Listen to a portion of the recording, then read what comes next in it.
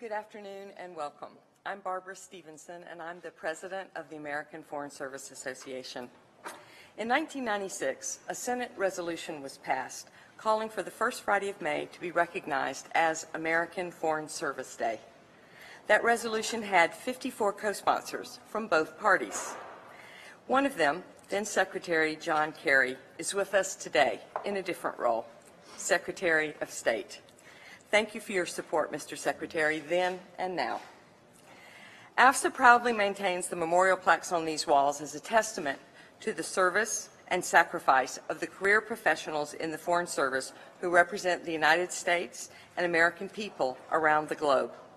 I'm honored to join friends and colleagues from the extended Foreign Affairs family to pay tribute to those who are no longer with us, but will always be remembered.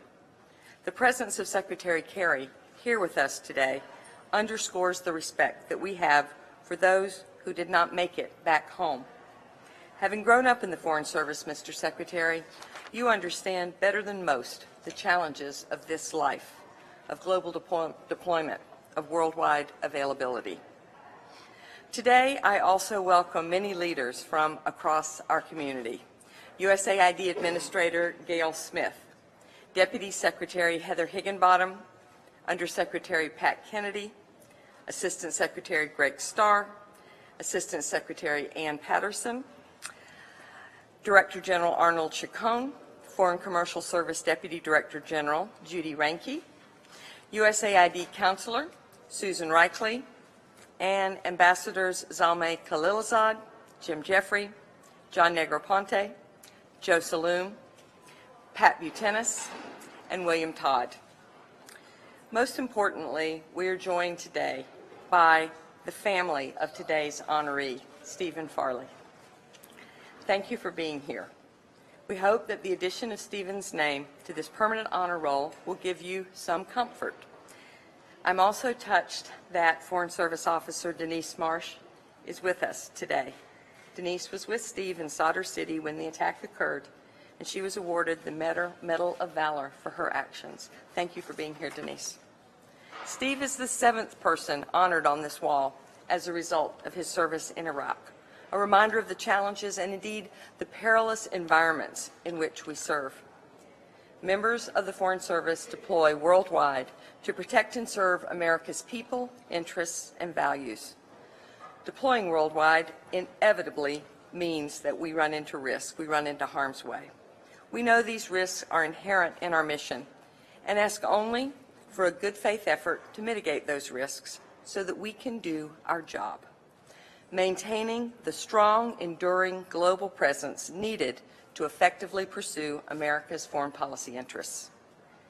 Since 1933, when this plaque was first unveiled, we have inscribed 247 names onto this wall. Today, that number grows to 248 as we recognize another American who proudly served his country and whose loss is still felt, not only by his family and friends, but also by the community in which he served.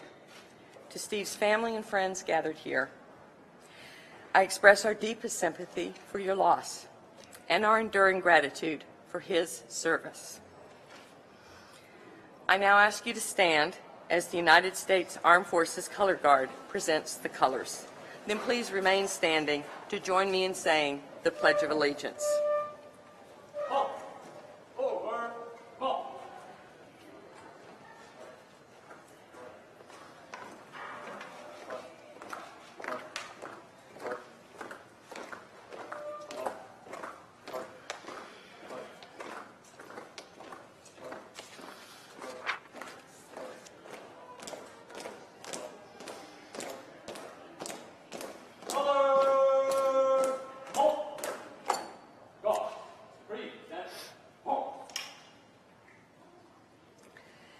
Please join me in saying the Pledge of Allegiance. I pledge allegiance to the flag of the United States of America and to the republic for which it stands, one nation, under God, indivisible, with liberty and justice for all. Please be seated. I will now read a message from President Barack Obama.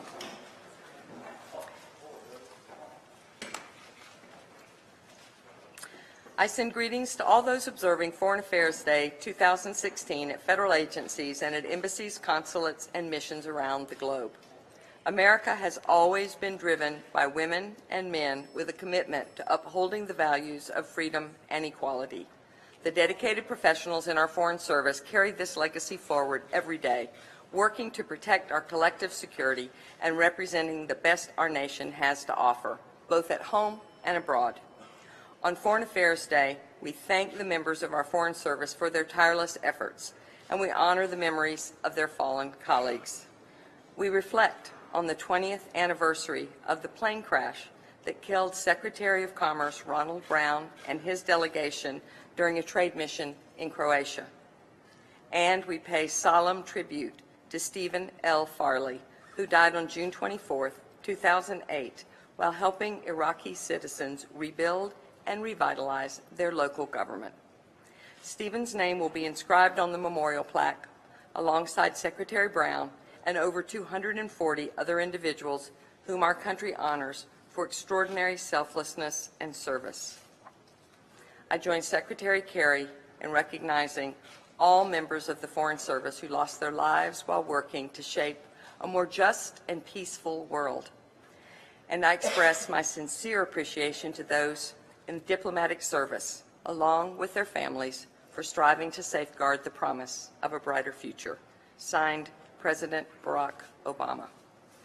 It is now my great honor to turn the podium over to our Secretary of State, John Kerry.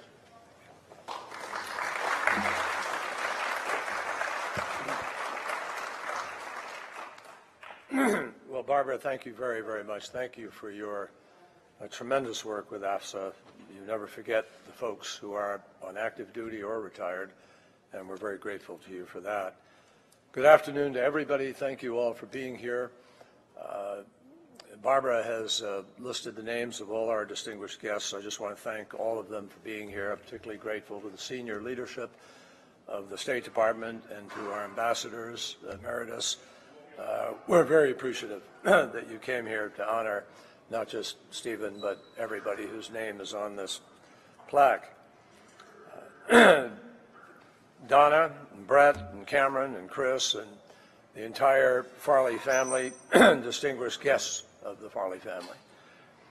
We honor a very special individual today, Captain Steven Farley. He dedicated his life to defending our nation and to promoting our values. And he lost his life in a service to our country's ideals of justice and liberty for all when he was working in Iraq to deliver that to other people because he believed in that so deeply. Many of us already know Steve's story. The proud son of Oklahoma, the small business owner in Guthrie, uh, the sailor and the naval reservist who served in Korea, Japan, and Iraq, the man who, after shedding his military uniform, still wanted to serve, and made the brave decision to return to the front lines in civilian clothing in order to help Iraqis build a brighter future. Our friend, one friend said of uh, Steve, he was the kind of a guy that when he walked into a crowd, he had this magnetic personality. You wanted to know what he was about.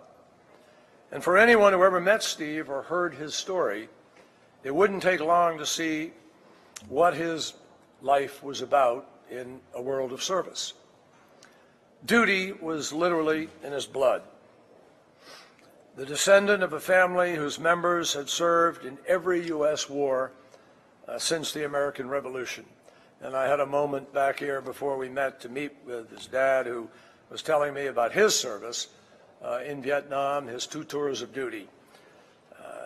So it is no surprise that Steve always answered the call, no matter what the request or how daunting the task. When the mayor of Guthrie needed a hand with a local event or a project, he could count on Steve to help. When recruited to join the armed forces as a teenager, Steve immediately signed up. And when he finished college and then business school, he re-entered military life. When active duty ended, he continued on with reserve duty. When the 9 11 attacks shocked our nation, Steve was called to action once more. And when his career in the Navy came to a close, he joined the State Department's effort to stabilize, secure, and rebuild Iraqi communities. After all that time, excuse me, after all that time, after he had seen and experienced and given so much, you could forgive any person for becoming jaded or cynical, but not Steve. As he wrote to family and friends from Baghdad just months before his death, what matters is that these people only want for their families the things that every American wants for theirs. Safety and security for loved ones, the opportunity to see children grow and learn to become adults, pursuing those things that give us peace with our God and a sense of reason for our existence. Such powerful words completely capture Steve's empathy and his optimism at the same time. And they reflect as well the faith and the commitment of so many of the foreign affairs professionals who represent our nation across the globe. It is fitting that Steve should be remembered by what he did for others, by his selfless actions and his unyielding belief in the better angels of humanity. That's simply who he was. As another friend and fellow naval officer put it, he showed us how to live our lives, adding, sometimes when you meet someone, you don't realize that they're a hero. So, public servant, friend, hero, beloved husband, father, brother, and son. This is what Steve Farley was all about. This is his legacy. And today his name has been carved into the marble of the State Department. Throughout his career, his deeds have been inscribed heretofore in the lives of the people that he met, in the difference that he made, the people he touched and helped. Now and always, his story is going to be etched in the hearts of all that knew him and who loved him. His heroism will continue to inspire everyone who carries forward the daily work of this department. President Kennedy famously said in his inaugural Here on Earth, God's work must truly be our own. He took it to heart. May God bless his memory, the Farley family, the country Steve loved so much and served so well.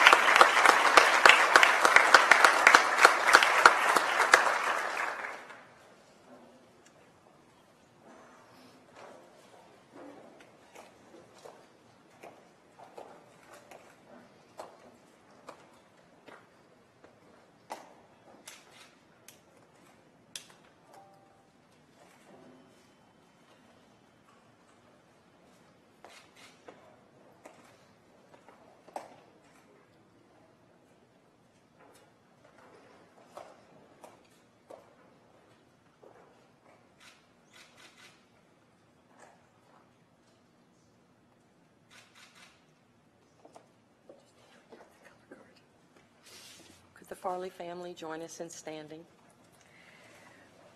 Please stand, everyone, as the United States Armed Forces Color Guard retires the colors.